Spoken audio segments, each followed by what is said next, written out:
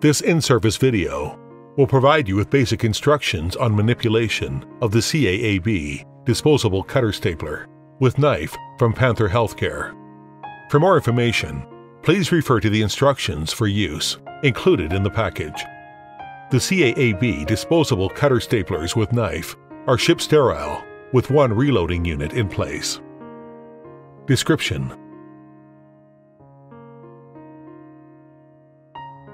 Anvil. Reload.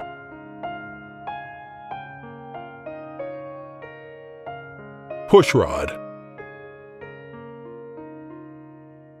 Firing handle. Retaining pin knob. Release button. Method of operation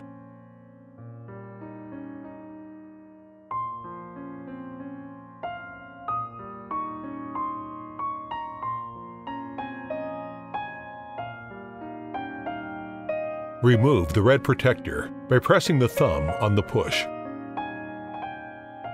Place tissue between the jaws. The retaining pin can be pushed manually or automatically. Squeeze the firing handle halfway. Firing handle will get locked with jaws half closed. In this position, doctor can adjust the tissue without unnecessary trauma. Squeeze the firing handle fully and release it to make sure it moves back to the original position. In this position, the jaws are fully closed. Continuously squeeze the firing handle until stops to complete the stapling and cutting functions. Press release button. The jaws will open and the tissue will fall out. To remove the reloading unit, Grasp the finger pads at the top and pull it straight upward from the jaws. To reload the instrument, make sure RU groove is corresponding with cartridge siding splint. Insert the RU into the metal cartridge housing and push firmly downward. Then remove the red protector. Features and benefits Unique design with a cutting blade Cut and sew together. Vertical direction for cutting and stapling.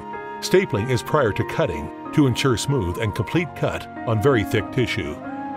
Extra long shaft, 265 millimeters. The length exceeds competition products to make sure easy access in narrow pelvis.